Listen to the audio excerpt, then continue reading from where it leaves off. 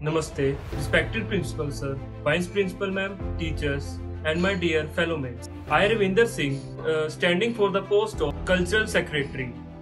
I am student of class plus 2 science. I am attending this school for almost 13 years, uh, and as a cultural secretary, I will teach you Bhangra, and uh, for Sikh occasions, I will teach you Gatka also. If you think I am eligible for cultural secretary, uh, so do vote for me.